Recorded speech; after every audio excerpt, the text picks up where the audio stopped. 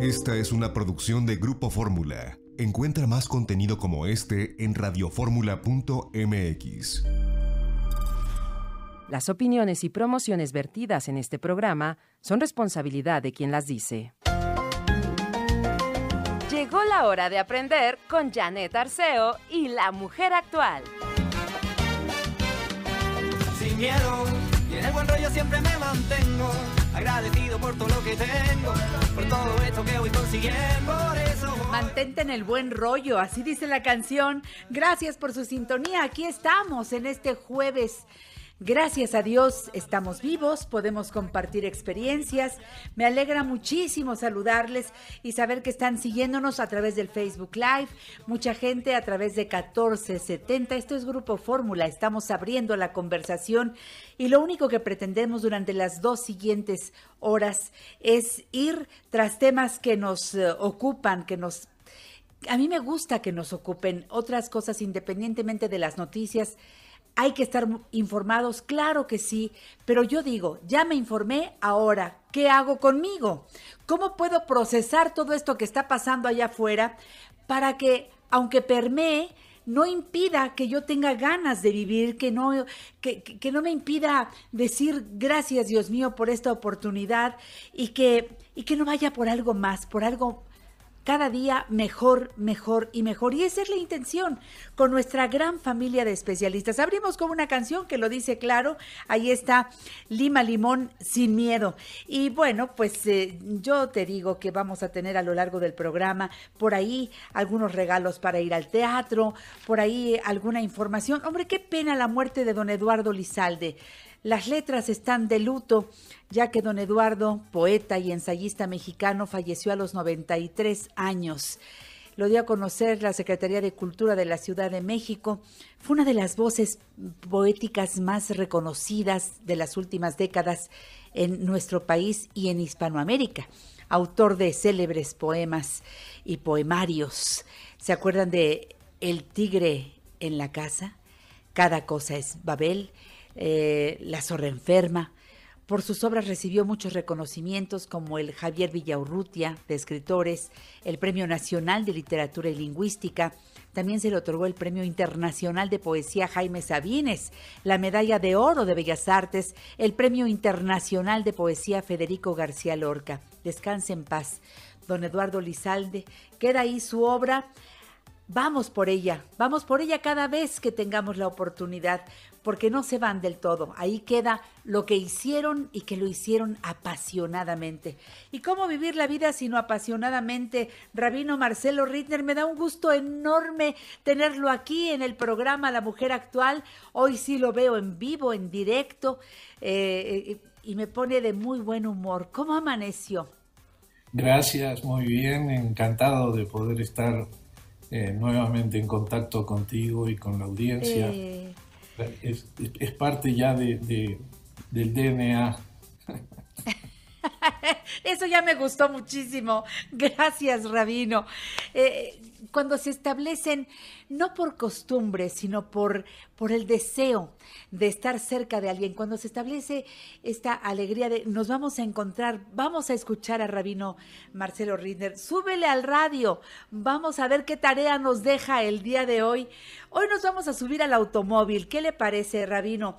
Vamos a subirnos al automóvil que tiene pues un un parabrisas grandote, que tiene un espejo ahí retrovisor, que ese por cierto es chiquito, pero sí alcanzamos a ver todas las cosas de atrás. Y creo, creo que por ahí va la historia de hoy. Adelante, Rabino. Gracias, gracias.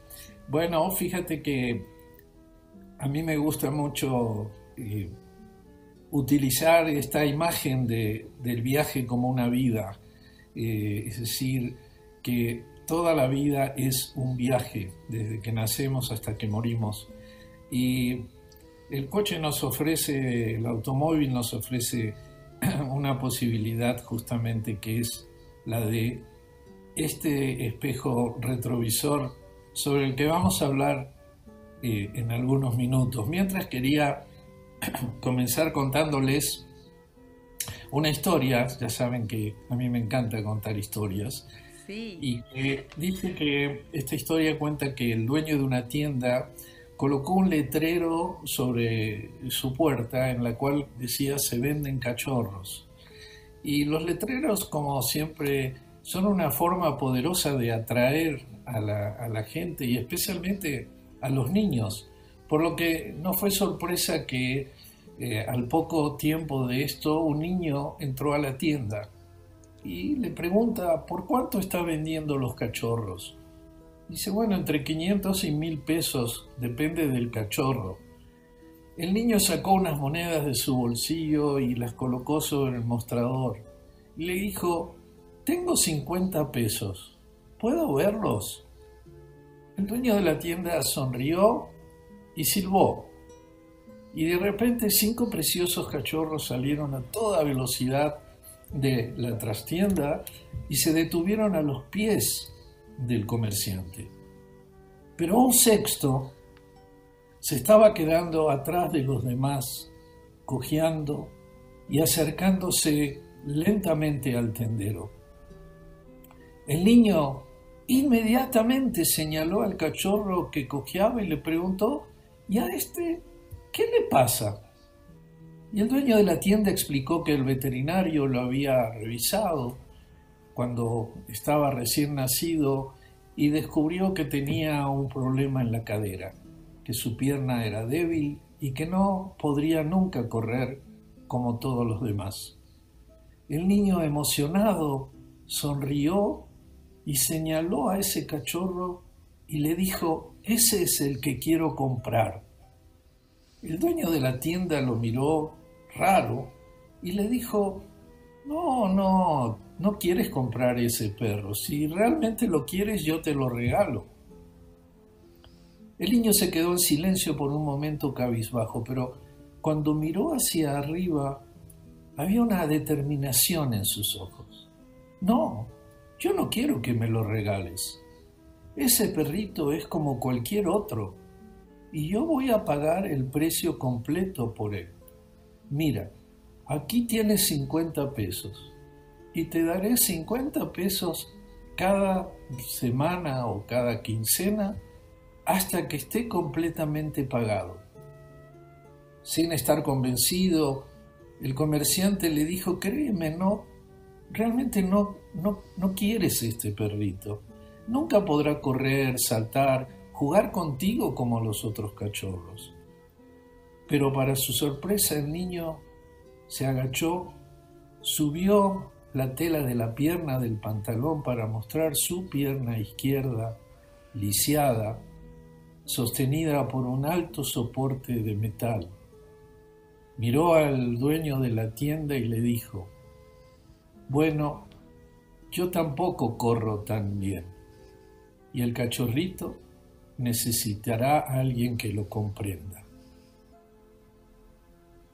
Este niño comprendía lo que muchos adultos no sabemos resolver. Ser tú mismo, vivir tu vida y no la vida de otro, buscar a alguien que complemente el viaje de tu vida y los días de tu vida, no acumular arrepentimientos. Él entendió que su parálisis no tocó su corazón y dando de sí mismo podría tener una vida con más amor y muchas sonrisas y no temería a la oscuridad porque atrajo una luz a su vida. Cada uno de nosotros tiene su propia percepción de la realidad, su propia visión de la religión, una prioridad de valores comunes. Todos queremos ser intrépidos, alegres y estar completamente vivos, pero todos sabemos que no es tan fácil.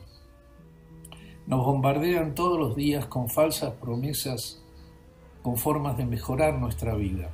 Compre esto, vaya aquí, coma esto, use estas vitaminas, use estas cremas. Si quiere mejor, verse mejor, no haga esto, no haga aquello. Ya saben, la lista es interminable, como también es nuestro sufrimiento. Y yo quería decirles hoy que, amigas, amigos, hasta que lleguemos al fondo de lo que somos, todo lo que hagamos, será siempre superficial, incompleto y destinado al fracaso. Y sentimos, sentimos que si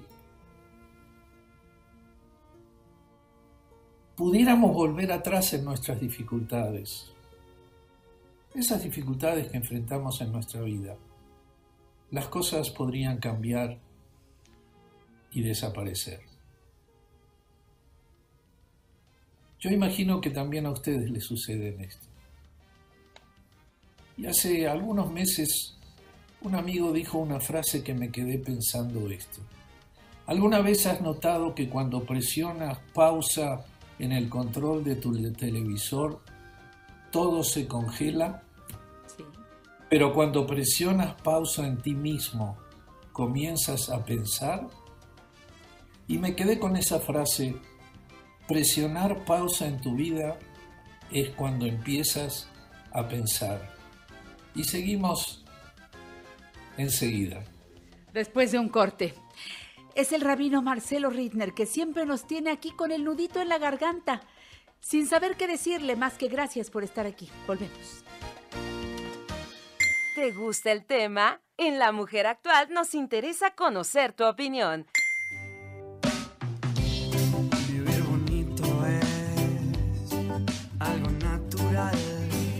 Seguimos aquí en La Mujer Actual, transmitiendo completamente en vivo para todos ustedes, teniendo la fortuna de que hoy jueves nos acompañe, iniciando el programa, el rabino Marcelo Rittner, a quien ustedes conocen muy bien, el autor de libros eh, desde el primero, aprendiendo a decir adiós, si no es ahora, ¿cuándo? Tómale una selfie a tu alma.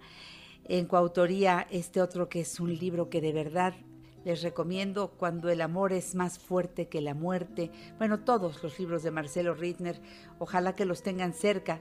Tener cerca al rabino Marcelo Rittner es eh, tener un encuentro constante con nuestra espiritualidad y hoy nos está llevando a puntos muy, como siempre, cada vez que llega aquí, muy íntimos, muy, muy para reflexionarlos, porque yo lo escucho y empieza, empieza ahí el trabajo del pensar.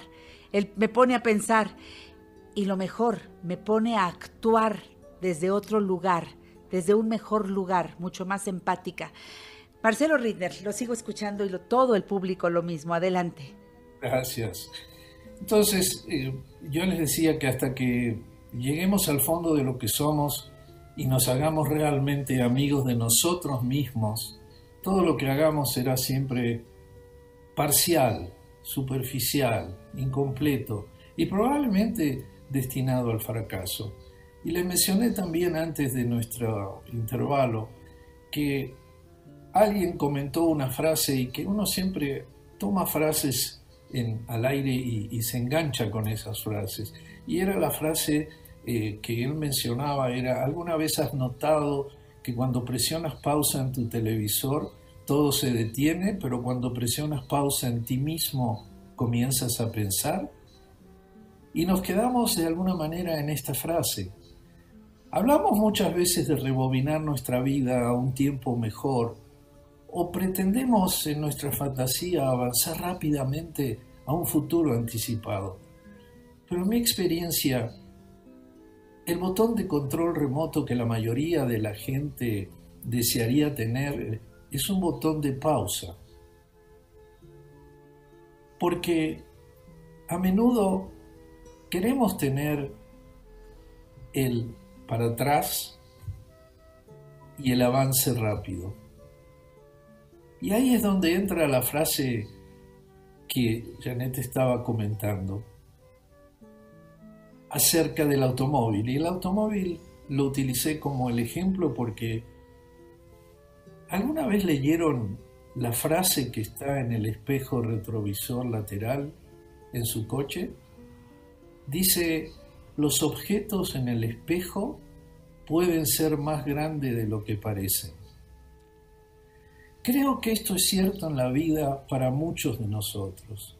A medida que avanzamos, nuestra atención a menudo se dirige a nuestro espejo retrovisor, a nuestro pasado, como si necesitáramos esa reconfirmación. Y de tanto mirar para atrás, dejamos de focalizarnos en el viaje, que nos lleva a la plenitud o al incompleto de nuestra vida. Avanzamos deseando poder volver atrás. No es por algo que siempre decimos los tiempos pasados fueron mejores. Y no es verdad. Los recordamos como mejores porque la memoria es selectiva. El atractivo de retroceder era justamente a aquellas épocas que éramos más felices, nunca a las épocas que enfrentamos problemas. Y creo que debemos aprender que eso es irreal. Desafortunadamente, el control de tu alma no tiene esa función. Los seres humanos nunca se hicieron con un botón de rebobinado y no se puede volver atrás a no ser en tu imaginación. E igualmente es cierto, vivir una, una vida llena de arrepentimiento no es vivir de verdad. Curiosamente, cuando presionas pausa en el control de tu televisor, todo se detiene. Pero cuando presionas pausa en ti mismo, comienzas a pensar. Quiero contarles de una enfermera, Bronnie Ware. Ella escribió un libro que publicó hace algunos años. En Australia, ella pasaba horas junto a pacientes, hablando con ellos y escuchando sus historias. Y en las, en las preguntas que le hacía, una era, ¿te arrepientes de algo? Y estas personas que estaban la mayoría en terapia intensiva respondían honestamente, entendiendo la claridad y lo delicado del momento que estaban sus vidas. Y ella publicó años después un libro sobre estas conversaciones. Pero ese es el espíritu con el cual enfoco nuestra plática del día de hoy. Preguntarte a ti mismo, ¿estás viviendo la vida que te propusiste? ¿Tendrías algún arrepentimiento personal? No me refiero a, algún día bucear o aprender a cocinar o viajar a Marte. Mi pregunta es más profunda. Si pudieras cambiar algo de tu vida antes que sea demasiado tarde, ¿qué sería? Y la enfermera dio una lista de respuestas. Las cinco primeras o las más importantes o las más repetitivas, digamos, por parte de la gente a la cual entrevistó, escuchen. Uno, desearía haber tenido el coraje de vivir una vida fiel a mí misma, no la vida de los demás. Te pregunto si está tu vida en consonancia con tus valores. ¿Estoy siendo fiel a mí mismo? ¿Estoy siendo fiel a mí misma? Segunda respuesta de la gente. Desearía no haber trabajado tan duro. Especialmente los, los pacientes masculinos hablaban de esto y las mujeres extrañaban la juventud de sus hijos y el compañerismo de su pareja. Se arrepintieron de las largas horas que pasaban en la oficina o haciendo tareas que consideraban importantes en lugar de estar en casa o asistir a alguna presentación de su hijo o de su nieto y pasar más tiempo con los amigos. En la vida como en los negocios, todos tenemos recursos limitados, tiempo, energía, talento y riqueza. Y con cada momento de nuestro tiempo, cada decisión sobre cómo gastamos nuestra energía, nuestro talento, nuestro dinero, está haciendo una declaración sobre lo que realmente nos importa.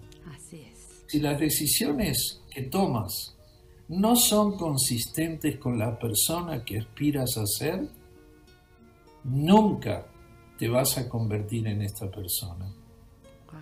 Y la tercera respuesta era, ojalá hubiera tenido el coraje de expresar mis sentimientos.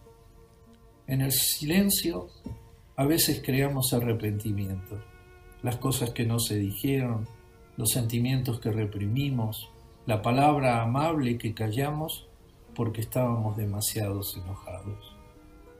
La cuarta, ojalá me hubiera mantenido en contacto con mis amigos. Ah, qué lindo. día que rebobinamos la cinta de nuestra vida, cada uno de nosotros puede señalar una, dos o muy pocas amistades y recordamos que las hemos descuidado sin querer cuando pensábamos que nuestra vida estaba tan ocupada. Y la quinta, la quinta respuesta es, ojalá me hubiera permitido ser más feliz. El camino hacia la felicidad en la vida y las relaciones, les digo, no se trata solo de encontrar a alguien que creas que te hará feliz. También se trata de encontrar a alguien a quien tú quieras hacer feliz. Alguien a cuya felicidad valga la pena que te dediques. Trae felicidad a otro y te prometo que la vas a encontrar en ti mismo. Pero bien, tampoco podemos avanzar rápido hacia adelante. En el alma solo tenemos la posibilidad de la pausa. Y mientras luchamos por lo perfecto, dejamos de ser ordinarios. Mientras nos apresuramos a mejorar, nos damos nuestro mejor esfuerzo para hacer el bien. Y mientras anhelamos algo nuevo, algo mejorado, extraemos la alegría de lo viejo y de lo confiable. Date un respiro. Presiona pausa en tu día. Es el único botón que tenemos. Presiónalo y verás qué pasa. Y sospecho que te va a llevar a pensar justamente en todo esto que es lo que estamos hablando. Les digo una vez más que hasta que lleguemos al fondo de lo que somos, y nos hagamos realmente amigos de nosotros mismos, todo lo que hagamos será siempre superficial, incompleto y destinado al fracaso. Tienes tu control. Tienes el valor de apretar pausa. Es imposible, el orgullo. Es arriesgado, dijo la experiencia. No tiene sentido, dijo la razón. Pruébalo susurró el corazón. Y así como el niño, aprendemos que nuestra vida tiene más sentido cuando la enfocamos y la vivimos con realidad. Hasta la próxima, amigos, amigos. Estamos juntos. Estamos juntos, Rabino. Hoy tenemos un libro de regalo. Y si, y si no es ahora, ¿cuándo? Ahí está. Así que repórtense al programa La Mujer Actual. Ahí está Marcelo Rittner. Hasta dentro de 15 días. Rabino, que Dios lo cuide. En La Mujer Actual nos interesa tu bienestar y el de tu familia.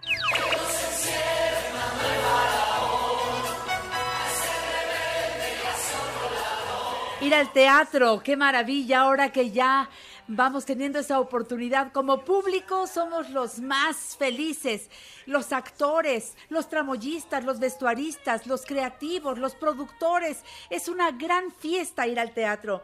Yo estoy muy agradecida porque hoy el productor ejecutivo de José, el soñador, está con nosotros. Guillermo Vigers, a quien saludo con mucho cariño esta mañana. ¿Cómo estás, Guillermo?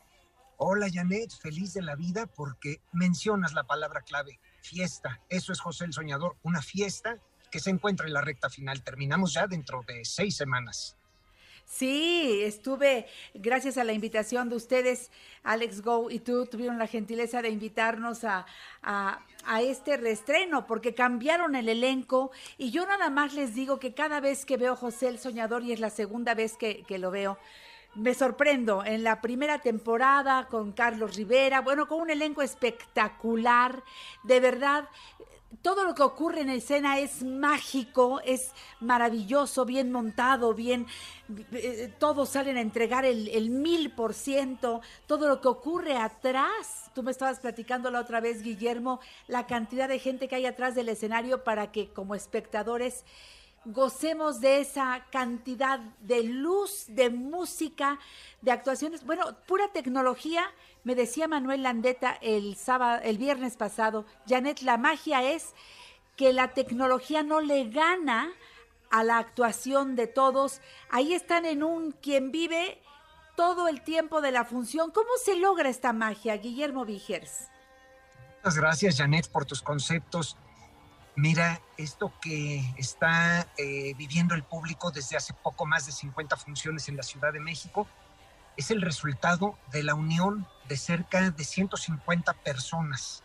De esas 150 personas que están ahí noche a noche para lograr la función, efectivamente, naturalmente, entre eh, protagonistas, eh, integrantes del ensamble, músicos, tramoyistas, personal de peluquería, de maquillaje, hay un trabajo de creativos que durante 18 meses de manera ininterrumpida unieron esfuerzos desde distintas latitudes gracias a esta bendita tecnología de Zoom, esta bendita tecnología virtual, para planear un espectáculo sobre papel.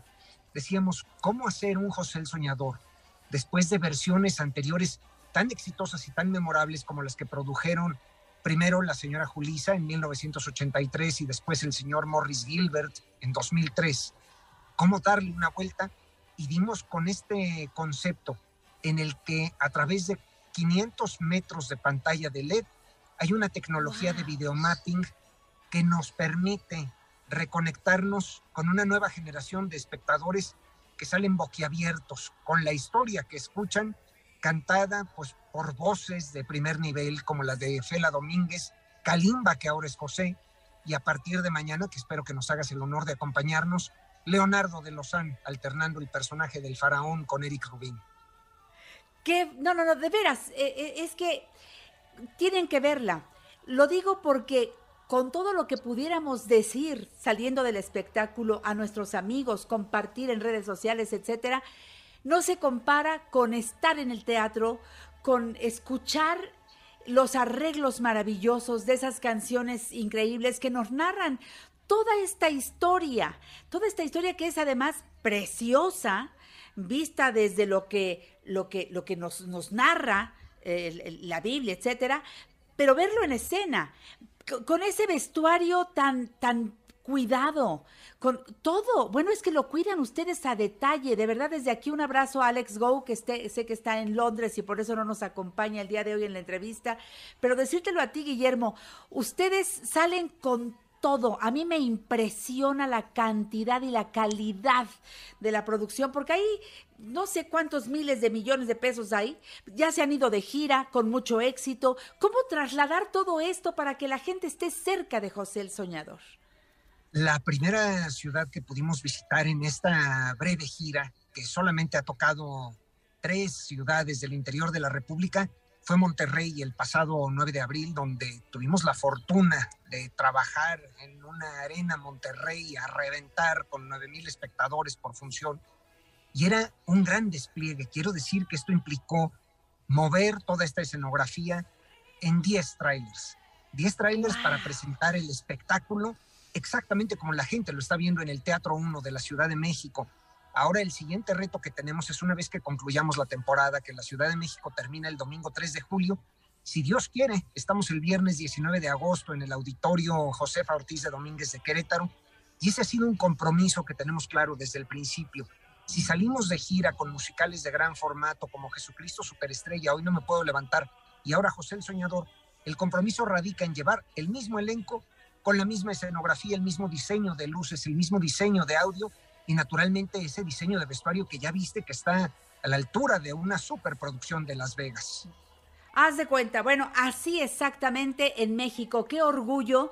Eh, Fela, la mencionaste hace un momento, qué mujer extraordinaria en el escenario, qué voz.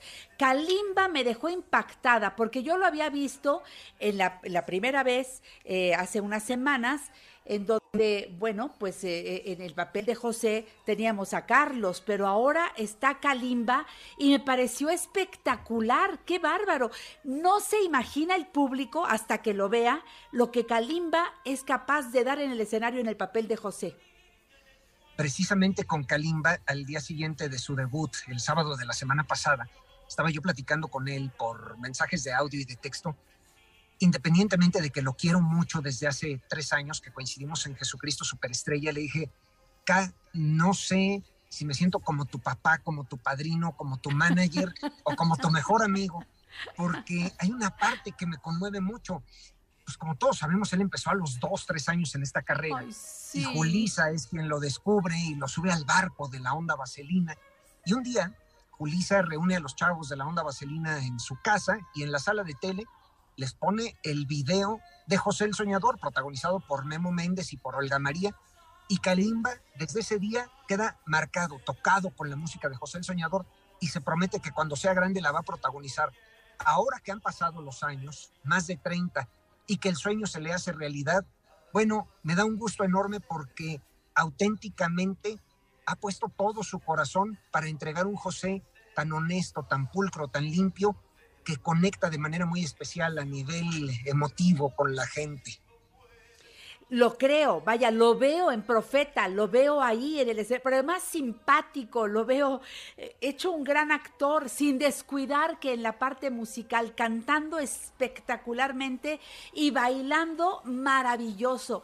En verdad me tiene encantada. Ahora, entonces, a partir de mañana, Leo de Lozane, porque la semana pasada efectivamente vi a, a Eric Rubin, a quien le mando un abrazo muy cariñoso, y Leo a partir de mañana. Entonces, los boletos están a la venta seguramente tú que ves los, los ensayos y que estás ahí en el teatro, tú vives en el teatro. A ver, Guillermo Vígers, ¿cómo, cómo te encuentras a Leo de los... Danos un avancito para que la gente ya se lance a buscar los boletos. Me conmueve mucho que tanto Eric Rubín como Leonardo de Lozán hayan aceptado esta invitación. Porque naturalmente cuando Kalimba era el faraón, cuando arrancamos esta temporada en febrero de este año, el número de Kalimba se convirtió en un homenaje para los grandes intérpretes negros entonces su número se basó en referencias, alusiones, desde Louis Armstrong hasta Michael Jackson y Bruno Mars. Y ahora, en el caso de Eric Rubin, claro, fue una obra que lo marcó en su infancia, cuando él hacía Vaselina con Timbiriche en el año 84, se cruzaba mil veces al Teatro 2 para ver al legendario faraón que hacía Héctor Ortiz. Y en el caso de Leo de Lozán, se empapó de todas las referencias que te puedas imaginar sobre Elvis Presley para regresar a esa música original de Andrew Lloyd Webber, que es un homenaje al rey del rock. Entonces se van a topar con un Leo de Lozano, un galanazo caracterizado como Elvis Presley. Sí. Fascinante, de veras es fascinante verlo. Así es que nos quedan solamente seis semanas. Terminamos el domingo 3 de julio, viernes a domingo, Teatro 1. Viernes a domingo. ¿Los viernes cuántas funciones dan, Guillermo Vigers? Estamos haciendo una sola función los viernes a las ocho y media. Los sábados damos dos funciones a las cinco y a las ocho. Y los domingos también una función en un horario muy cómodo para la familia a las 5 de la tarde. Centro Cultural Teatro 1, no se lo pueden perder. En verdad les digo, José el Soñador, una producción impresionante, hecha en México, con, con una creatividad y con, de veras, con unos artistas únicos, todos quienes están atrás del escenario, quienes están enfrente del escenario, los productores a quienes tanto quiero, Alex Go, Guillermo Vigers, les deseo lo mejor y qué lástima que sean tan pocas semanas, porque de verdad ahí se trabaja todos los días, Guillermo, todos los días. Los boletos en Ticketmaster, en Ticketmaster y, en, la, taquilla. teatro. Exactamente, así es que ahí los esperamos, una obra para toda la familia. Gracias, Janet, siempre por apoyar al teatro y te espero mañana para el debut peleo de Lozano. Bueno, ¿tú crees? ¿Tú crees que me lo pierdo? Ahí estaré, Dios mediante. Mi cariño, Guillermo, ya sabes. Gracias y hasta la próxima. Nos vemos en el teatro. Eso, igual para ti. Que viva el teatro. Vámonos al corte. Soy Janet Arceo. Esto es La Mujer Actual. No te vayas. En La Mujer Actual te invitamos a viajar con nosotros a través de la historia. Todos los amantes del terror Vámonos hasta 1897, año en el que se publicó la famosa novela Drácula, escrita en un estilo epistolar por el autor irlandés Bram Stoker, quien, se dice, se basó en las conversaciones que mantuvo con un erudito húngaro que le habló de Vlad Tepes, el empalador, príncipe de Valaquia y supuestamente el verdadero conde Drácula. Avanzamos a nuestro país de 1910, natalicio de Adolfo López Mateos, presidente de México de 1958 a 1964. Durante su gestión, inició la construcción de la Unidad Profesional Zacatenco del Instituto Politécnico Nacional. Modernizó la infraestructura en las vías de comunicación y promovió la creación de museos como el de Historia Natural y el Museo Nacional de Antropología en la Ciudad de México. En el Reino Unido de 1913 vino a este mundo Peter Cushing, dándose a conocer con papeles como Victor Frankenstein, Van Helsing, Sherlock Holmes y recordado en su último papel de Grand Moff Tarkin en la Guerra de las Galaxias. Y en Cuba de 1925 nació la escritora y directora teatral Carmen Montejo, destacada actriz durante la época de oro del cine nacional y un pilar en los melodramas de la televisión mexicana.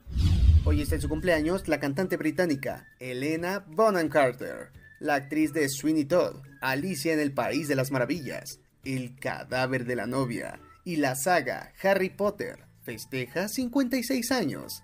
Además está en su cumpleaños el músico y compositor estadounidense Lenny Kravitz, el considerado uno de los músicos y productores más vanguardistas de la época actual. Celebra 58 años. Para el cierre de nuestro viaje recordaremos al escritor, traductor, diplomático y académico José María Pérez Gay, el director y fundador de la televisora cultural mexicana Canal 22. Falleció en el año 2013. Descanse en paz. Regresamos al 2022 con Janet Arceo y la mujer actual.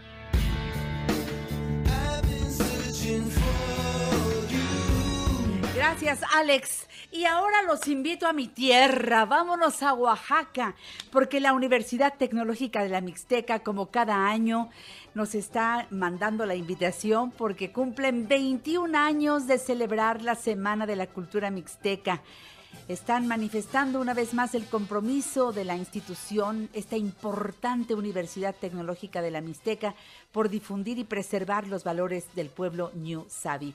Y bueno, pues habrá muchas conferencias, destacados investigadores llevarán lo mejor de lo que eh, nos pueden ofrecer en esa charla, conciertos, música, libros, videos, pintura, canto. Nada mejor que platicar con el rector de esta de este, de este tecnológico, de este, pues yo creo, este esfuerzo eh, que, que hace con tanto amor y con tanta entrega el rector de la Universidad Tecnológica de la Mixteca, el doctor Modesto Seara Vázquez, que siempre es un orgullo platicar con él. ¿Cómo está, doctor? Muy buenos días. Muy bien, muchas gracias. Ya veo que es amiga por todas las cosas que habla. Gracias. Usted sabe que siempre que tengo el gusto de saludarlo, primero le digo que lo admiro, que lo respeto, que veo todos los alcances de esta institución, de esta universidad, que es ejemplo, no nada más en nuestro país, sino a nivel mundial. Felicidades porque ahí está usted incansable, mi querido doctor Seara Vázquez. ¿Cómo van las cosas para esta semana cultural que ya arranca, si no me equivoco, el próximo domingo? Pues después de un año que no pudimos hacerla por la, la, pandemia y todo eso, el año pasado fue virtual, el otro pues no la pudimos hacer, pues eh, ahora ya reanudamos las, las actividades presenciales desde el 4 de octubre en nuestras universidades, las 10 con los 19 campus, con los 18 que están funcionando, que, que en este momento funcionan en el Estado, ya reanudamos las actividades presenciales plenas. Y sin grandes problemas, sin ningún problema prácticamente con la cuestión de la pandemia. Eh, nosotros hemos trabajado bien, tenemos muy pocos casos y funcionamos. Y ahora reanudamos todas las actividades culturales, que son siete semanas de la cultura, que se iniciaron la semana pasada. Bueno, esta semana actual, la que estamos, es la semana de la cultura, de las culturas de la cañada, y el domingo, pues es la de la mixteca. Eh, de, la, Universidad Tecnológica de la Mixteca en Oaxaca de León. El próximo domingo, el otro domingo iba a ser la del Istmo, pero por razones electorales se cambió al día 12 y luego continuarán todas hasta el final del año con las semanas de las culturas afro en Pinotepa, en Pinotepa Nacional. Y así serán ya siete semanas. Esta va a ser, como siempre, el domingo. Habrá un montón de actividades, de exposiciones, como usted mencionaba, de cerámica, pintura, artes plásticas, fotografía, etcétera.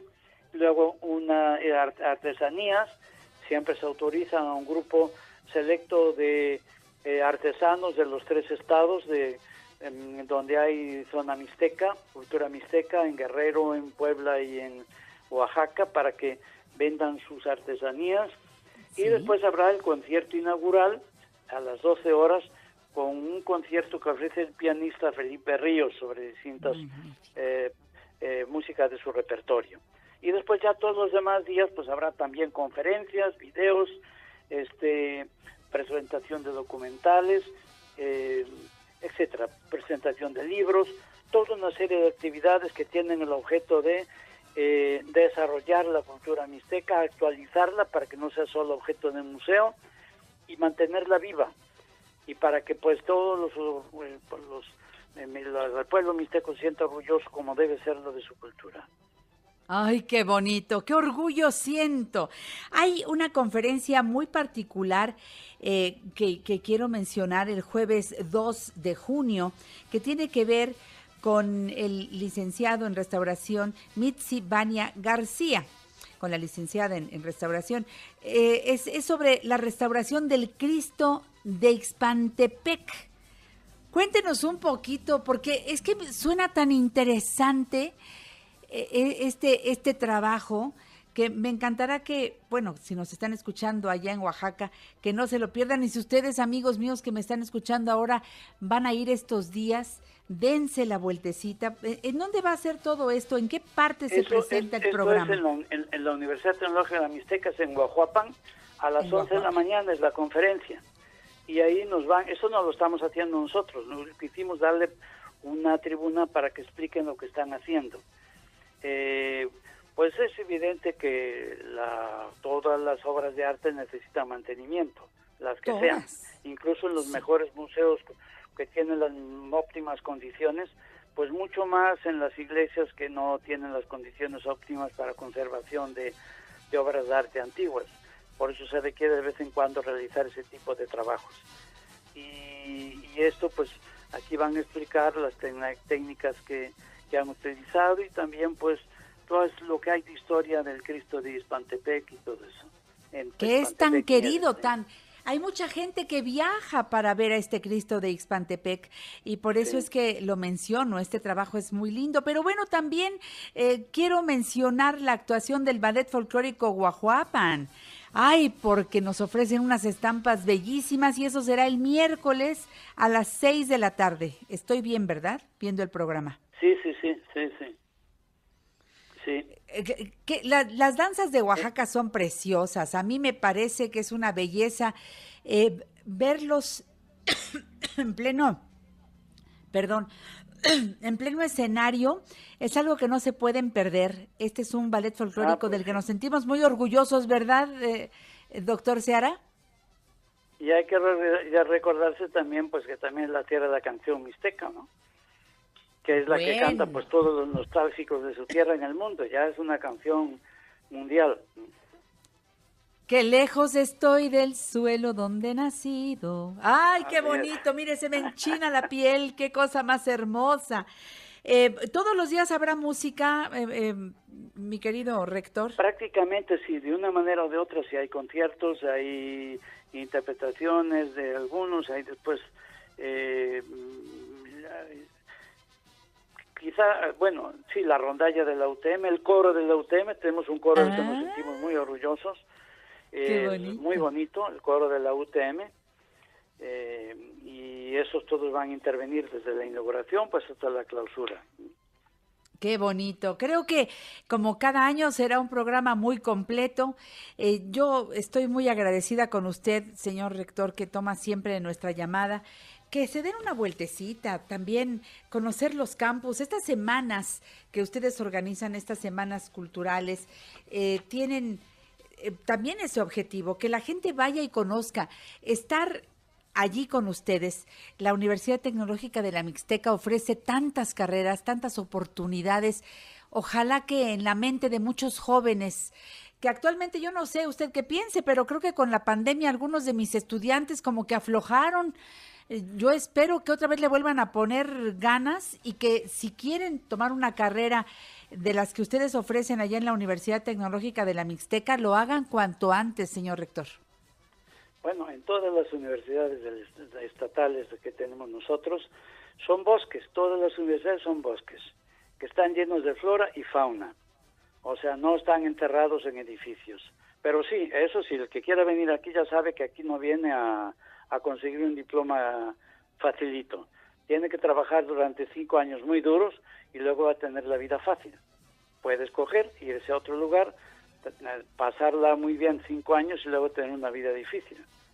Pero yo sigo el consejo que tenía pues el gobernador inicial que tomó la idea de hacer esto, que fue Eladio Ramírez, que es de allí cerca de Huapan de León, y él tenía su eslogan de que por Oaxaca no hay descanso y lo tomamos en serio. No sé si fue muy inteligente de mi parte no dedicarme a vacaciones, pero bueno, ahí estamos. Y, muy bien, señor rector, sin descanso, eso es lo que veo y lo que oigo, siempre con el entusiasmo eh, que, que, le caracteriza y con la invitación abierta, porque vaya que son ustedes muy generosos. Y toda mi gente de Oaxaca, la que tanto quiero, arriba mi tierra, arriba Oaxaca y me pongo de pie. Eh, esta semana de la Mixteca, recuerden, empieza el 29 de mayo, el próximo domingo y termina el 3 de junio. Para más informes de las siguientes semanas, ¿a dónde entramos, señor rector? ¿A pues qué página? en, las páginas nuestras de, con el nombre de la universidad, en la primera plana de las páginas, ahí está el calendario y todo, todos los horarios, de esta y de todas las, las semanas en la cultura. Las siete que hay en todo el estado. UTM.mx, ahí estamos ah. todos conectados. Sí, marcan pues UTM y ya con eso entran, sí. Muchas gracias, eh, doctor Modesto Seara Vázquez. Un abrazo desde la Ciudad de México con el deseo de verlo pronto. Que Dios lo cuide. Pues, Hasta la próxima. Muchas gracias, como siempre, por el apoyo que nos dan. ¿eh? Dale clic a nuestra página en Facebook, Janet Arceo y la mujer actual, figura pública, y entérate de todo lo que pasa antes, durante y después del programa. Cinéfilo a la vista. Hoy en La Mujer Actual la presencia estelar de José Antonio Valdés Peña, crítico de cine, director de la Escuela de Cine y Televisión del Centro de Estudios en Ciencias de la Comunicación, Campus Pedregal. Muy, muy sonriente como siempre, lo veo aquí a través de Facebook Live. Mi José Antonio, ¿cómo va la vida? Buenos días. Hola Janet, buenos días. Pues con, mucho trabajo, muchos planes y, y, pues bueno, aquí en el SEC Pedregal estamos ya entrando a la recta final del semestre ya están filmando los muchachos sus proyectos finales, están los muchachos de comunicación, de publicidad, están haciendo sus campañas, están haciendo sus proyectos finales también. Entonces, pues muy contentos de, ver los resultados pues de un semestre donde nos acercamos más cada vez y pues bueno, viendo, viendo siempre hacia adelante, mi querida Janet. Por supuesto, y bueno, ya saben que eh, eh, esta parte que dirige nuestro querido José Antonio Valdés Peña y que tiene que ver con, con la Escuela de Cine y Televisión, que está dando de verdad muy buenos resultados. Ese compromiso de los estudiantes en medio de tiempos complicados, porque vaya que ha sido tiempo difícil para todos. Pero ahí está el director, no ha soltado a sus alumnos, a los que ya estaban, a los que inician. El caso es que no pierdan la pasión, al contrario, que se vayan apasionando más y más y más, porque ese es el eje, después en el resto de su vida, José Antonio. Totalmente. Porque nunca van a trabajar, siempre van a estar tan enamorados de lo que hacen que la vida es eso, eso se vuelve tu, tu, pasión de vida y qué bonito que sea el cine y sea la televisión. Me encanta. Claro, por ellos. claro, claro, y también Janet, pues tú eres un ejemplo de esa pasión que mueve a alguien durante tanto tiempo y que sobre todo nos deja enseñanzas, nos deja una imagen de alguien apasionado por lo que hace. Y bueno, tenemos altas y bajas en la vida, pero si nos sigue apasionando lo que hacemos, nunca vamos a sentir que estamos trabajando, estamos haciendo lo que nos gusta. ¿No? Exactamente. Si estás trabajando en lo que te gusta, pueden pasar muchas cosas allá afuera, pero tú sigues de verdad como que un porcentaje muy, muy grande de tu vida está haciendo el equilibrio con aquellas otras cosas que podrían no estar marchando al 100. Claro. Pero como nada es para siempre, pues tú sigues apasionado acá y van las los sube y bajas como tú bien mencionas y tú sigues en lo tuyo y lo demás ahí va girando, mi José Antonio. Por cierto, y hablando de buen cine, oye, estas eh, tareas que nos has dejado las semanas pasadas, de verdad todas estupendas. Bravo, José Antonio. Qué bueno, qué bueno. Gracias, Janet. Pues qué mejor que, que tú las avales y que pues veas que tratamos de juntar siempre lo mejor que ah. podemos encontrar en las carteleras. Y bueno, si quieres te platico qué es lo que traemos para este fin de semana, porque también están las opciones muy, muy ricas. Fíjate que eh, arrancamos con una película que seguramente va a gustar mucho aquí en México, que se llama 1982, el año que cambió al Líbano, del director director Walid Moanes, un cineasta nacido en, en Líbano, que estudió cine en Francia y ha regresado a su país para filmar pues una película muy especial donde todo ocurre, Janet, en el microcosmos de una escuela primaria, un día de 1982, cuando de pronto viene la invasión militar de Israel hacia Líbano, una guerra terrible que, que, duró varios años y que está visto desde la perspectiva de dos mundos muy diferentes que coinciden en esta escuela. Por un lado, el de los maestros, el mundo de los maestros representado por una actriz y directora estupenda que viene también de Líbano, que se llama Nadine Lavaki y que aquí en México conocemos sus películas Caramelo, Cafarnaum, ¿A dónde vamos ahora? Y bueno, pues ella interpreta a una de las maestras que, como todos los maestros de esta escuela, pues tienen eh, sentimientos y e ideas encontradas acerca de lo que está pasando entre Líbano e Israel.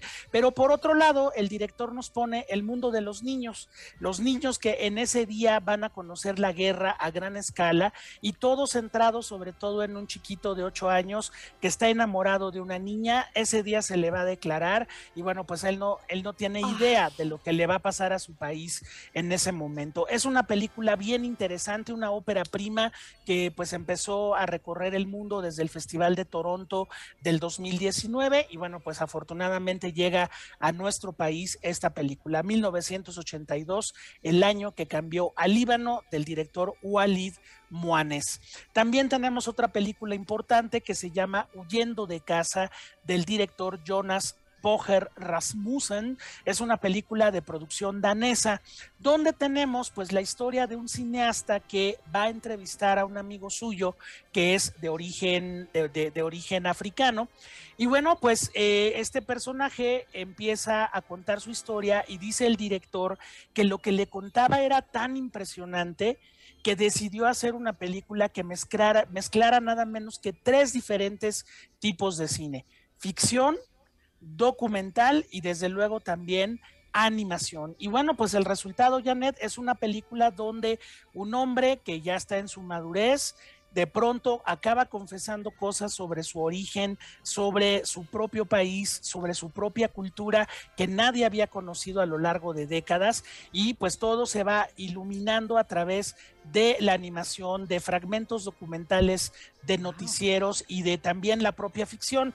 Fíjate que lograron con esta película algo muy importante en la pasada entrega de los premios Oscar, porque la película estuvo nominada a Mejor Película Internacional por este Dinamarca, Mejor largometraje documental, porque también es el documento, es la vida de una persona registrada en el cine. Y también animación, mejor película animada, porque el, el 80% de la película son dibujos animados, pero pensados para público adulto que quieran conocer una historia pues muy conmovedora de que nos habla pues de orfandad, nos habla de eh, migración y nos habla también pues de los secretos que a veces las personas nos guardamos durante décadas y que un día pues para ya no lastimar más el alma tienen que salir. Así que no se pierdan esta película Huyendo de casa del director Jonas Poger Rasmussen, que pues está entre lo mejor del año 2021 y no se la pueden perder a partir de este fin de semana. Regresan los clásicos en pantalla grande a la Cineteca Nacional, mi querida Janet, y me da mucho gusto anunciarte que este fin de semana, sábado 8 de la noche, domingo 6 de la tarde, se presenta una obra maestra de Martin Scorsese, su adaptación de la Edad de la Inocencia, la novela de Edith Wharton, que nos habla de la sociedad neoyorquina, la alta sociedad neoyorquina del siglo XIX, centrada en un triángulo amoroso, pues entre tres personajes interpretados por Daniel Day-Lewis, Michelle Pfeiffer y Winona Ryder en una película que es de una gran belleza formal, pero que esa belleza formal esconde la enorme violencia que siempre tiene el cine de Martin Scorsese, pero ahora es una violencia social, una violencia elegante que le impide a los personajes alcanzar su felicidad. Pues una obra maestra de los años 90 que vale la pena recuperar. Déjame decirte que la Cineteca además la va a proyectar en 35 milímetros, la vamos a poder ah. ver en cine, no en formato digital, así que pues qué mejor que vayan este sábado 8 de la noche y domingo 6 de la tarde pues cita obligada en la Cineteca Nacional para ver La Edad, de, la inocencia, de Martin Scorsese. Y Janet, pues terminamos con una serie de televisión. Yo sé que poco hablamos de televisión en este espacio, pero vale la pena que conozcan la serie que lanzó a la fama al actual presidente de Ucrania, Volodymyr Zelensky, el servidor del pueblo, pues la historia de un humilde maestro de secundaria que después de dar un discurso muy encendido en contra de la corrupción de su país, allá en, Ucrania, pues resulta que el hombre se vuelve viral y se acaba convirtiendo en el presidente de su país. Lo curioso es que esta serie que empezó en el 2015, llevó a Volodymyr Zelensky a tomar la candidatura a la presidencia y a ganar en el año 2019 pues la presidencia de su país con un 75% del electorado a su favor. Y ahora pues es un hombre que está haciendo efectivamente, Janet, llamados a la paz, a la cordura, a la solidaridad con Ucrania. El pasado jueves, eh, unas horas después de que nos vimos aquí en tu espacio, Volodymyr Zelensky apareció en la pantalla del Festival de Cannes y tomando las palabras de Chaplin en ese discurso bellísimo del gran dictador, llamó a toda la industria cinematográfica a que se valgan del cine para hacer conciencia social, derrotar a las tiranías y tener una solidaridad con el mundo entero. Si quieren ver la personalidad de este hombre que de verdad nos rompe el corazón cada vez que aparece en los medios, defendiendo a su país con sus ciudadanos, siempre vestido de forma militar, con la bandera de Ucrania ondeando detrás suyo, pues no se pierdan en Netflix esta serie, El Servidor del Pueblo, que pues regresa, ya había estado un tiempo, luego se fue y ahora regresa para que pues todo el mundo conozca a este gran personaje que se llama Volodymyr Zelensky, que de verdad es un ejemplo de lo que la política debería ser. La política es para ayudar a la gente, no para enriquecer a algunos. Entonces, pues ahí están las opciones, mi querida Janet, para este fin de semana. Ay, cuántas cosas han pasado en Cannes, ¿verdad? A mí me, eh, eh, bueno, este mensaje de, del presidente de Ucrania a mí me impactó como a todos, se volvió viral, por supuesto. Claro. Oye, ¿y qué tal? Ayer abrí programa escuchando a, Gael y a Del Toro eh, cantando a José Alfredo Jiménez, que fue genial también. Esta improvisación. así somos los mexicanos, ¿verdad? Así pues somos. Sí, es el carácter, es el carácter que tenemos y, y qué padre que el Festival de Cannes sea un buen foro para, pues, conocer este nuevo dueto musical que nunca nos esperamos. Y bueno, también lo bonito, lo bonito, Janet, pues es que se anuncia que Guillermo del Toro regresa a México a hacer una nueva película, cosa que nos da muchísima, muchísima alegría. Pero sí, fue un gran momento ayer en el Festival de Cannes, desde luego. Por supuesto. Te quiero, José Antonio. Yo Sigan también, a José Antonio Valdés Peña, Twitter y Facebook, arroba Freak. Te quiero con el alma. Hasta la próxima semana. querida Janet. Hasta luego. Pásalo bien. Hasta luego. Bye. Sigan aquí, soy Janet Arceo, esto es La Mujer Actual. Este domingo en La Mujer Actual, el tenor Fernando de la Mora. Solitaria camina la piquina la gente se pone a murmurar. En Naturismo y Nutrición, Margarita, naturalmente. Vidal Schmil y su escuela para padres. Cuando los hijos no se van. Leopi, el coach de conquista y amor con el tema El dinero y las citas. Los esperamos a las 10 de la mañana por 103.3 FM, 970 y 1470 AM y también por Telefórmula. Abre tus brazos fuertes a la vida. Gracias, Napoleón, por decirnos del cielo nada nos caerá. Hay que ir en busca de las oportunidades bien preparados. Por eso, yo nada más repito lo que dice Ivonne Vargas, mi querida Ivonne, niña preciosa la que tanto quiero, bien preparada, vocera en Capital Humano en Random House, integrante del World Workforce Institute, adscrita al Centro de Estudios para el Empleo Formal, responsable de la clínica Contrátame, autora del libro y audiolibro Contrátame que siempre les recomiendo. Ivonne Vargas, ¿cómo estás, mi niña preciosa? Bienvenida al programa. Mi querida Janet, casi se nos termina la semana, ya estamos en jueves y un jueves muy movido. Me encanta esta canción que escuchábamos, muy alegre, muy motivante. Quizá desafortunadamente el tema que vamos a hablar hoy no está igual de positivo, pero vamos a dar algunas eh, recomendaciones para evitar caer en ofertas de trabajo falsas. Fíjate, es que ya todo.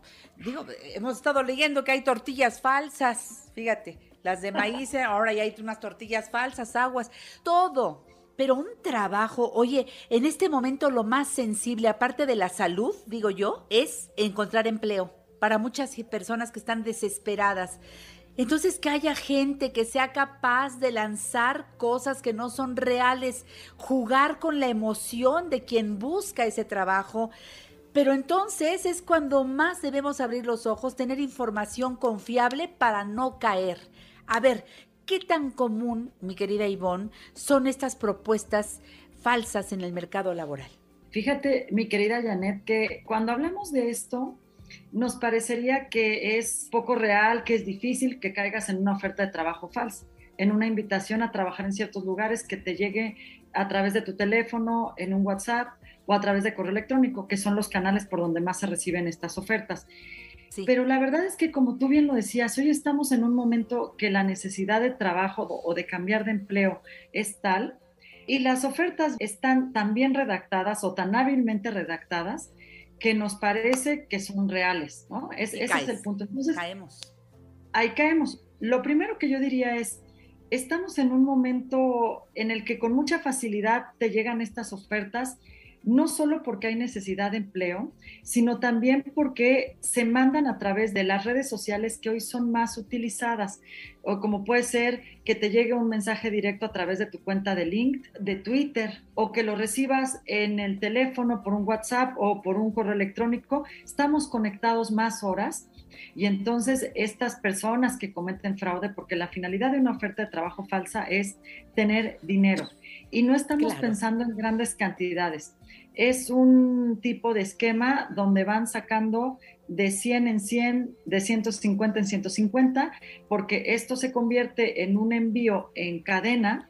Y la verdad que es fácil a veces ahora con tanta posibilidad que hay de que obtengan nuestros datos personales, sí, es fácil que nos lleguen en este formato. Entonces, está, está puesta tanto la necesidad, por una parte, como los canales, porque al estar conectados, estas personas que actúan de manera pues ilegal nos mandan estas ofertas. Ahora el caso es saber cuándo es real y cuándo es fraudulento. Por supuesto. y lo comentábamos, mi querida Janet, me hablabas de un caso similar que escuchaste sobre una oferta. Yo también en la tarea de revisar currículums me han llegado dos personas, por ejemplo, he platicado con ellas, que me enseñan la oferta que les llega por WhatsApp. Y aquí lo primero que hay que decir es que son correos u ofertas debidamente redactadas, no tienen falta de ortografía, muchas veces tienen el logotipo de la compañía, entonces al parecer es una oferta seria, ¿no? Pero hay ciertos indicadores que nos tienen que hacer dudar. Lo primero es que este correo, por ejemplo, o que la dirección a la cual nos piden confirmar o escribir, no es un correo corporativo.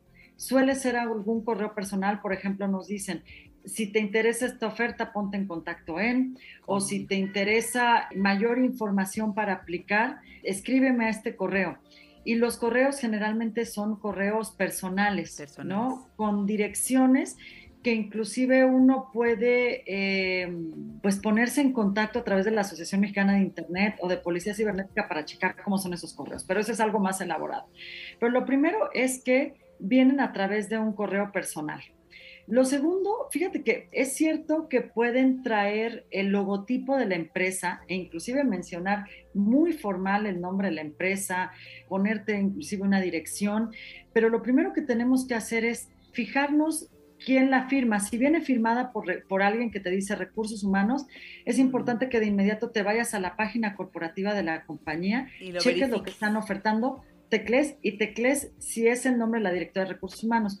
Inclusive ahora tú puedes marcarle a la empresa y decir, me están buscando de este corporativo con esta oferta, lo que quiero cotejar es que se trate de algo real.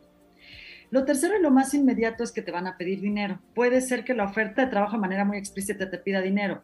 Por ejemplo, la que yo eh, conozco, la que me han enseñado, te dicen que vas a aplicar para un grupo que se dedica a hacer lácteos que están buscando eh, llenar vacantes en el área de mercadotecnia y en el área de ventas y que debido a que es un proceso muy saturado y hay muchas aplicaciones, te piden que eh, te realices tus estudios médicos.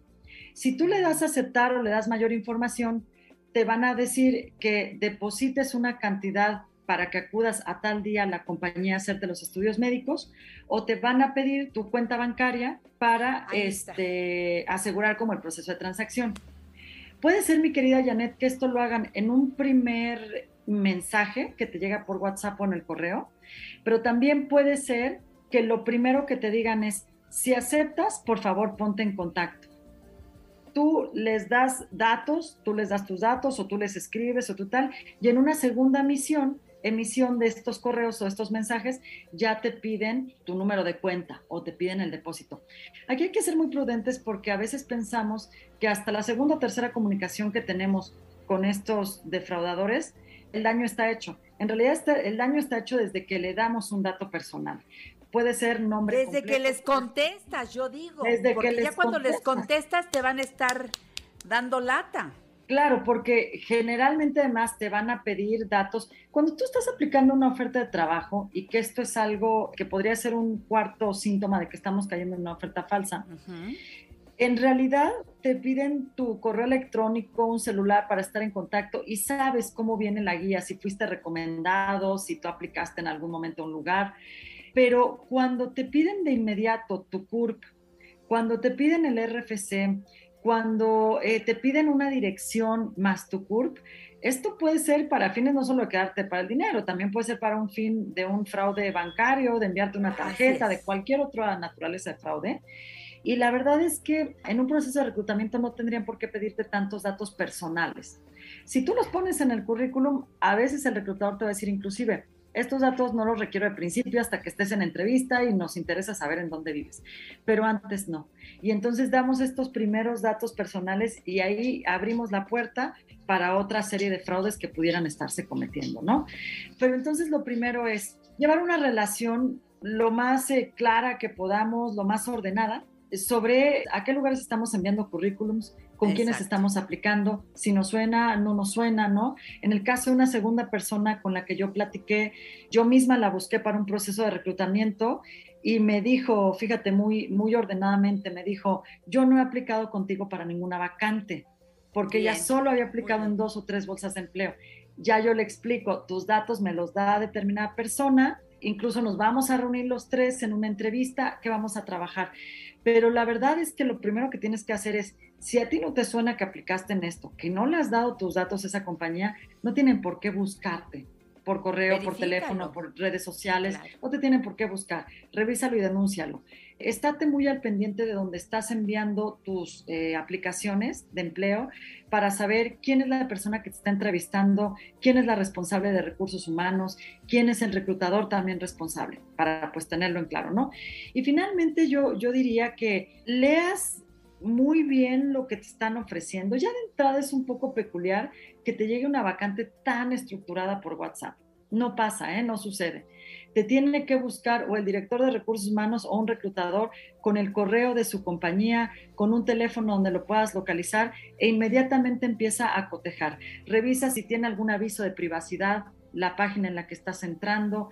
Estos datos te van a ayudar a saber que estás aplicando para algo formal pero creo que tenemos que aplicar mucho nuestro sentido común en saber que si nos piden dinero, datos personales, nos citan para que lleguemos a algún lugar, porque la gente va a la cita y en ese momento es asaltada. Entonces, este tipo de cosas no van con una oferta formal. Fíjense cuántos datos, de veras, y lo hemos hablado aquí con el tema seguridad en el programa. A veces es tanta la emoción que casi, casi nos entregamos a quien nos va a hacer un fraude, a quien nos va a engañar y después decimos, pero si estaba clarísimo, sí, pero a posteriori decimos, pero si me dijo esto y no, no me pareció extraño, es que me dijo esto otro, debí sospechar, pero el caso es que no lo hacemos. Por favor, atesoremos toda esta información, porque si no nos entregamos como de pechito, mi querida Ivonne, y no estamos para esas. Por eso digo yo siempre que la información da poder. Lo estás escuchando de una persona que es Ivonne Vargas, que es una profesional en todo este tema que tiene que ver con el capital humano. De verdad, cuida tus datos, cuida tu identidad. Nos la roban en un santiamén si no estamos atentos. Así que, Ivonne, valoro mucho tu información el día de hoy, como siempre, y déjanos tus redes sociales si eres tan gentil. Gracias, mi querida Janet. Me pueden contactar en Twitter como arroba Vargas Ivone en Facebook Ivonne Vargas Oficial y en mi página www.ivonvargas.com.mx. Comuníquense algo muy rápido, Janet. ¿Quiénes son víctimas rápido de esto? Las personas mayores y los muy jovencitos. Ojo con esto, porque los buscan eh, atendiendo a que van a estar más necesitados de empleo y suelen caer más rápido como víctimas de estos fraudes.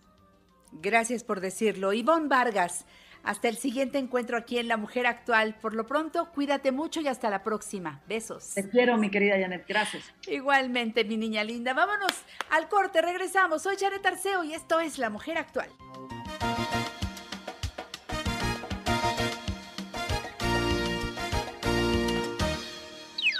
En La Mujer Actual damos positivo a la prueba de cuidar nuestra salud. Consulta a nuestros especialistas.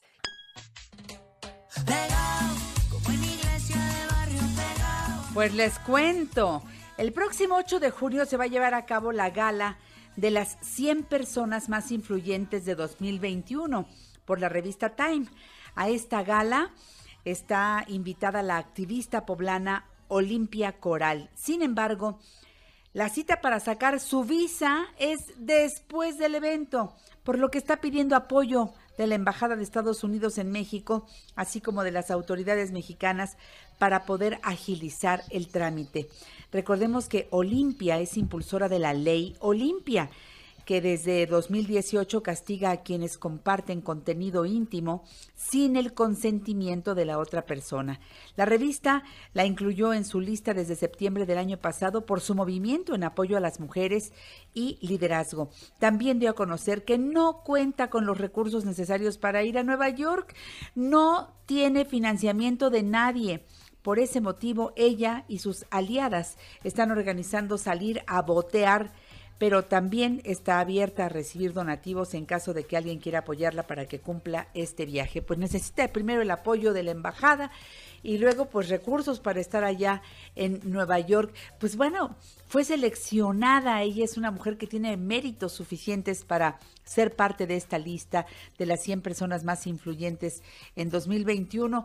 Eh, si la encuentran por ahí boteando, si encuentran a personas que están haciendo esta petición económica, ayudemos, ayudemos a Olimpia, que bien, bien lo merece.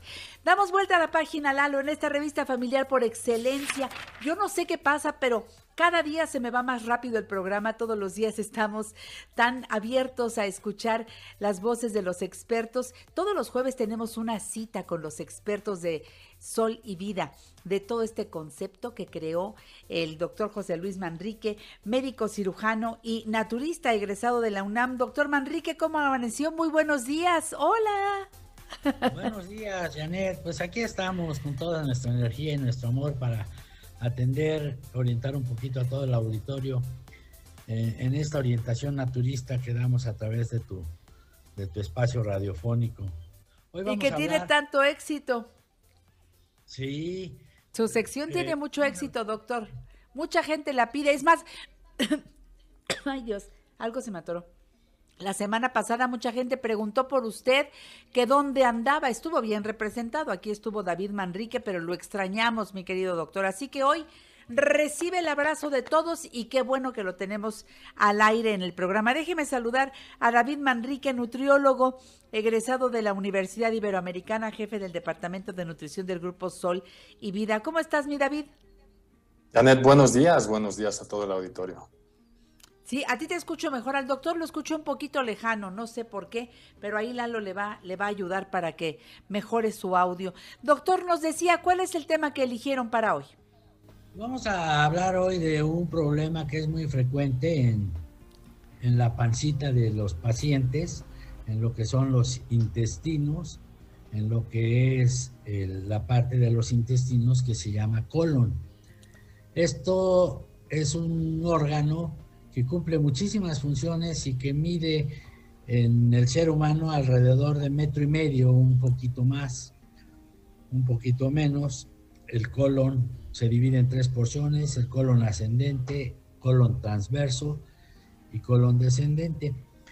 En este órgano, cuando hay inflamaciones constantes, a veces hay porque la gente come mucho picante, porque forma muchos gases, porque tiene estreñimiento, o tiene diarreas, o ya acabó con la flora intestinal. Sí. Son tantas las cosas, se forma una lesión dentro del intestino, precisamente en, las, en la mucosa del intestino, que es la parte interna, la mucosa y la submucosa, y se llaman divertículos. Es una ah. inflamación, una bolsa, y esa es dolorosa, no es fácil de tratar, impide el paso de las heces fecales con libertad, se atoran, crean problemas, crean dolor.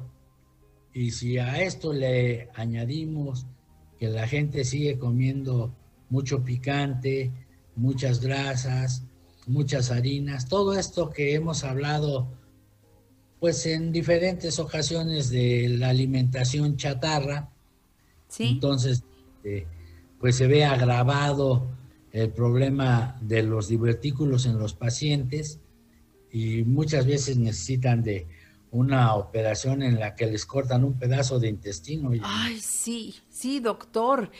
Es terrible todo eso.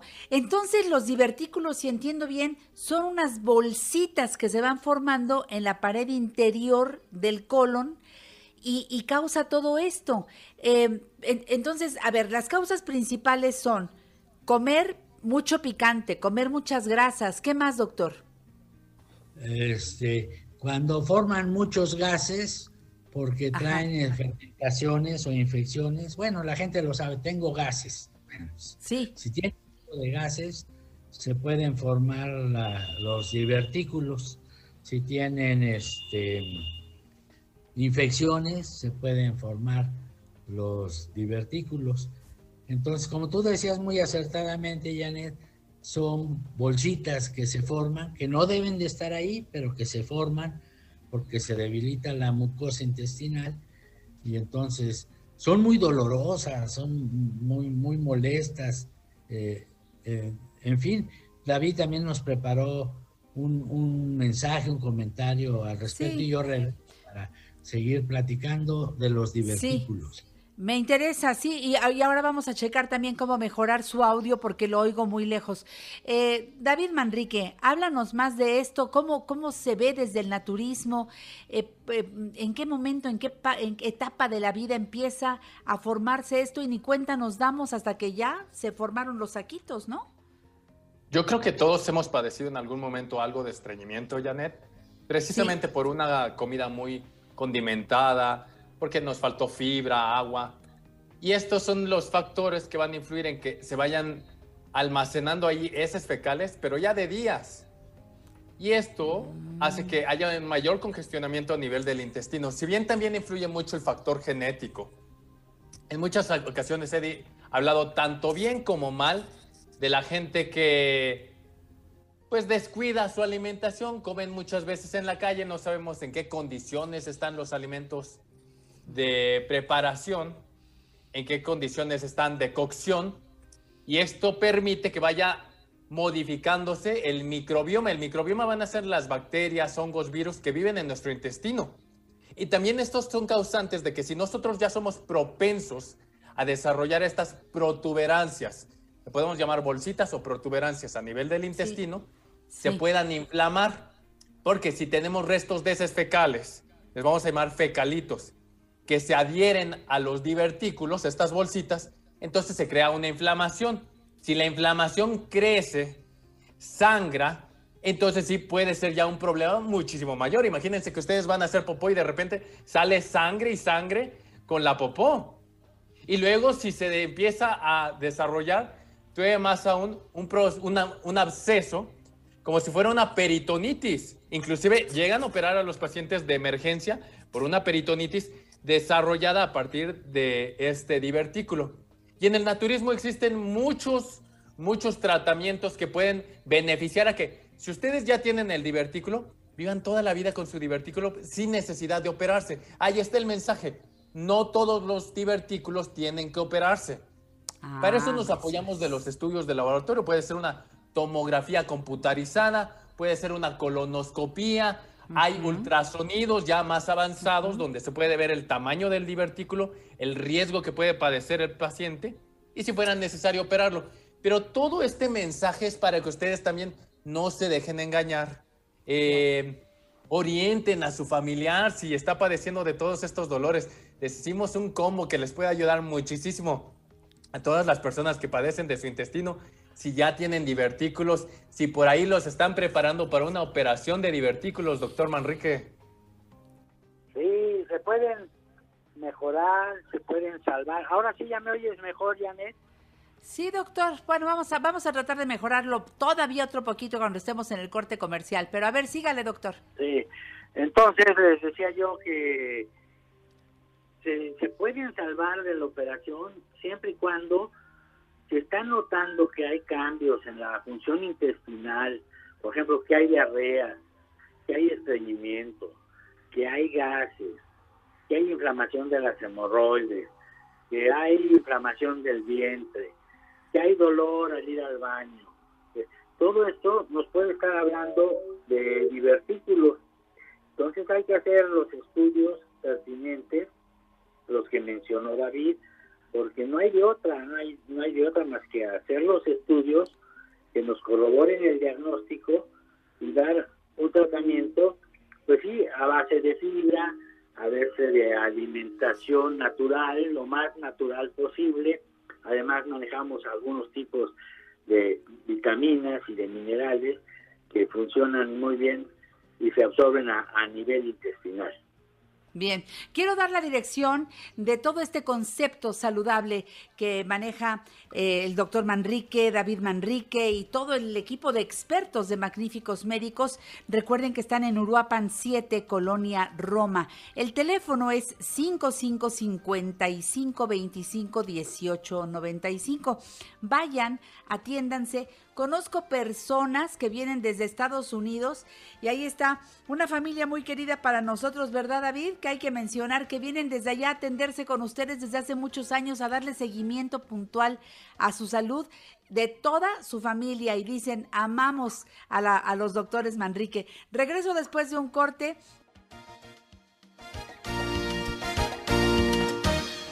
Dale clic a nuestra página en Facebook Janet Arceo y la mujer actual, figura pública. Y entérate de todo lo que pasa antes, durante y después del programa. Gracias al Dios bendito yo fui sanado de todo estrés de la sinusitis y la migraña, qué bueno es Les doy un avance del programa de mañana. Estará Pupi a las 10 de la mañana aquí en La Mujer Actual. Luego tendremos yoga de la risa con el doctor Natán Mansbach para hablar de la paz y la risa. Están tan relacionados. Escúchenlo. También para hablar de el clima para el fin de semana, el ingeniero Alberto Hernández Unzón, que pensamos que habían arrancado las lluvias. Nada, sigue el calorón terrible, por lo menos aquí en la capital de la República Mexicana. Margot Castañeda, eh, periodista en estilo de vida, nos va a hablar del Día Mundial de la Hamburguesa, que será el sábado 28 de mayo. Ay, yo me he comido unas hamburguesas con la familia Manrique, unas hamburguesas vegetarianas deliciosas, porque se pueden hacer hamburguesas vegetarianas riquísimas. Luego, Giselle Domínguez, estaremos mileneando con Giselle, mujeres millennials emprendedoras. El doctor Manuel Lavariega Sarachaga hablará de la dieta cetogénica, no te lo pierdas. Estaremos recordando a nuestra inolvidable maestra, la doctora Emma Godoy, con el tema Ay, no puedo. y el catálogo de oro de lujo mañana porque estaremos haciendo un homenaje a la maestra Emma Elena Valdelamar. Su hijo Darío Valdelamar estará con nosotros. Así que no se pierdan el programa. Hoy estamos en esta página final de la revista Familiar por Excelencia, La Mujer Actual, con eh, el doctor José Luis Manrique y con David Manrique hablando de divertículos, de las causas, de cómo nuestra alimentación mal llevada puede llevarnos a esta complicación seria en el colon. Ya nos explicó el doctor cómo, cómo, cómo está dividido en tres el colon, por qué se forman los divertículos y cómo prevenir con nutrición y naturismo, cómo poder tratar incluso este problema. En los estudios que se tienen que hacer, ya nos dijo David que podríamos hacernos estudios para conocernos por dentro. Esta colonoscopía es importante muchas veces, ¿verdad David? Sí, iniciamos número uno con la revisión médica, con la revisión clínica. Por supuesto, platicamos de la alimentación, que como les mencionaba, el consumo de fibra es sumamente importante. Hay una, un tipo de fibra que va a provenir de la celulosa y hago énfasis en lo que son las hojas verdes, en lo que es la cáscara de las frutas y las semillas integrales, que son fundamentales, pero con todo el advenimiento de la industrialización, se han ido perdiendo el consumo de estas fibras y por eso disminuye el movimiento del tracto intestinal. Al disminuir el movimiento del tracto intestinal, como les mencionaba, se quedan más fecalitos, restos, restos de heces fecales. Si ustedes ya genéticamente son propensos a desarrollar estas protuberancias, se pueden inflamar, pueden infectarse también, como les mencionaba. Eh, se ha estudiado mucho cómo el microbioma, hay bacterias que van a hacer que se inflamen y intoxiquen más del intestino, principalmente a nivel de estos divertículos, como sería el Clostridium. Uno ha escuchado hablar tal vez de esta bacteria cuando las latas de los alimentos están hinchadas o cuando ya están abiertas y dicen, cuidado, es que te puede dar una enfermedad muy grave. Entonces, es derivada del Clostridium y también es parte de nuestro microbioma. O sea, ya vive nosotros esta bacteria, pero vive en cantidades insignificantes nosotros al consumir lactobacilos buenos, probióticos buenos, estamos haciendo que compitan las bacterias buenas con las malas. Y entonces padezcamos menos riesgo de que se infecten o se inflamen estas protuberancias. Nosotros ya durante más de 30 años, casi 40, llevamos manejando una fórmula especial de lactobacilos, vamos a llamarles probióticos, sabor natural, sabor manco, que pueden preparar con el agua, que pueden preparar con los jugos, que pueden espolvorear en la fruta y que puede tomar toda la familia. Entonces, si ustedes ya padecen de divertículos, si padecen de hemorroides, si tienen muchos dolores de estómago o diarreas, como mencionaba el doctor, consideren tomar esta presentación de probióticos. Les hice un combo en esta ocasión para el intestino, cuidar de su intestino, que va a incluir un frasco de probióticos, va a incluir dos frascos de aceite de albahaca. La albahaca creo que se lleva la estrella de lo que son los aceites o productos naturales para desinflamación de la mucosa intestinal. El doctor Manrique bien lo mencionó. Estas protuberancias que les vamos a llamar divertículos se desarrollan a nivel de la mucosa y submucosa del intestino grueso.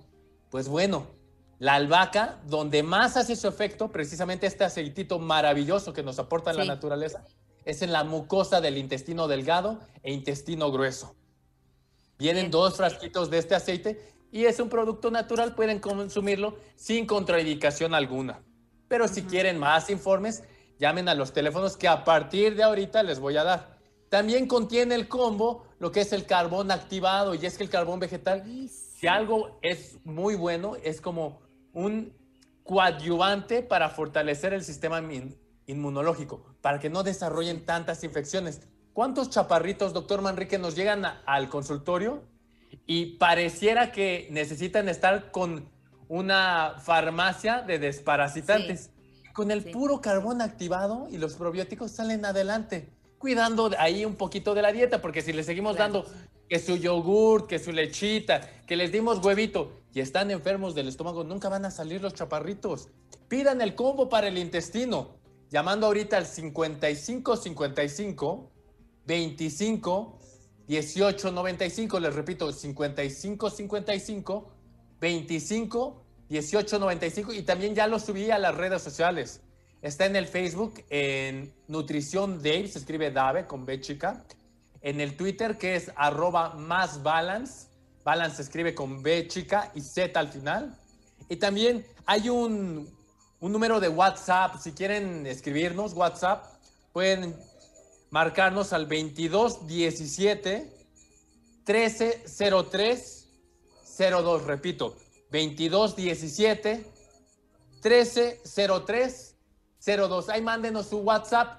Ahí les vamos a estar contestando cualquier duda o pregunta sobre el combo o las consultas. Damos consulta de lunes a viernes de 9 de la mañana a 5 de la tarde y los sábados de 9 de la mañana a 3 de la tarde. ¿En dónde? Uruapan 7, Colonia Roma. Uruapan 7, Colonia Roma. Ya lo saben ustedes, es fácil llegar eh, del Metrobús, estación Durango, una cuadra. Del Metro Insurgentes, tres cuadras hacia el sur. Uruapan 7, Colonia Roma. Teléfono 55 5525 1895. Doctor, ¿qué más nos va a apuntar respecto a este tema de divertículos? Pues eso, que no, no siempre es necesaria la operación, que aprendan a comer bien para que alejen las enfermedades de su casa.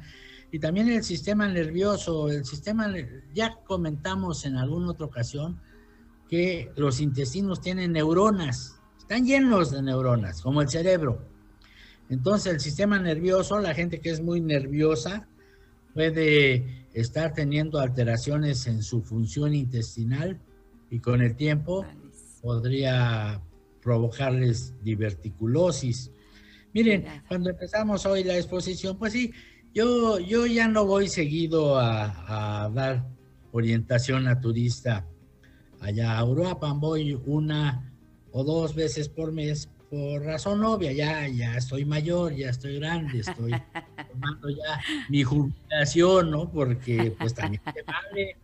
Entonces sí, voy y no solo oriento a los pacientes, también oriento a los médicos, que David cuenta con un gran grupo de médicos y siempre están ávidos de platicar conmigo y yo pues no me voy a guardar nada, los oriento, así que pueden pasar con cualquiera de los médicos allá en Grupo Uruapan 7.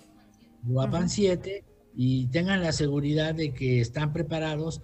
Les digo, yo voy una o dos veces al mes a darles orientación y pues lo que yo aprendí durante 42 años se los transmito con mucho gusto, Janet. Ahí estamos todavía de una manera. Bueno, pero sirviendo y mucho. El público lo quiere al doctor José Luis Manrique y por supuesto a David y a todo el equipo. Uruapan 7, Colonia Roma, 5525. No es cierto. 5555 porque es cuatro veces el 5, luego 25 18 95. El combo trae un probiótico, bueno, un este un bote, trae dos goteros de aceite de albahaca y dos frascos de carbón vegetal. Pídanlo, lo puedes mandar a cualquier lugar de la República Mexicana y también lo pueden ir a comprar a Uruapan 7, Colonia Roma. Los horarios muy amplios, al laboratorio desde las 8 de la mañana de lunes a sábado y las consultas a partir de las 9 de la mañana todos los días de lunes a sábado, Uruapan 7, Colonia Roma. ¿Qué quieres decir para terminar, mi querido David? Pues Janet, que estén al tanto de las redes sociales, estoy subiendo mucha información. Tanto de nuestras presentaciones, inclusive de lo que se viene ya a futuro. Esperemos que ya que se normalice lo de la pandemia, empecemos a tener más talleres y pláticas para todos nuestros radioescuchas y que pidan este combo. Si requieren asesoría de alguno de los médicos, pueden decirle tanto a Perlita como a Cris en los teléfonos que ya están tomando algún medicamento o que van a tener una operación o que es para una persona mayor. Entonces llamen 55 55 25 18 95. ¿Y el WhatsApp lo repites, por favor? El teléfono de WhatsApp con todo gusto sería al 22 17 13 03 02. 22 17 13 03 02. Muchísimas gracias. Saludos, doctor Manrique. Le mandamos un beso. Que Dios lo bendiga. Cuídese mucho y gracias. Gracias, David, por estar con nosotros. ¿Eh? Que estén muy bien. Me voy con una noticia de Orfeón que me parece muy buena. Orfeón nos invita a tomarnos una foto con Lupita D'Alessio. Mañana viernes 27 de mayo la cita es en Plaza Perisur a las 5 de la tarde. No te lo puedes perder cupo limitado. Así que si pueden y quieren, recuerden que pues nuestra querida Lupita D'Alessio es artista orfeón y se presentará mañana en Perisur a las 5 de la tarde. Hombre, ¿quién no quiere tomarse una foto con Lupita D'Alessio? La, la queremos tanto, no sabemos casi todas sus canciones, ¿verdad, doctor Manrique? Todas las canciones, Leona o mujer. Eso. los jóvenes, todos, hasta los niños cantan a la D'Alessio. Qué bueno que estará en México y que podremos ir a tomarnos la foto. Una invitación de Orfeón para mañana en Perisur, 5 de la tarde. Pues así, con la presencia del doctor José Luis Manrique y de David, los invitamos a quedarse aquí en Grupo Fórmula. Hasta mañana, pásenlo muy bien. Adiós a todos. Esta fue una producción de Grupo Fórmula. Encuentra más contenido como este en radioformula.mx.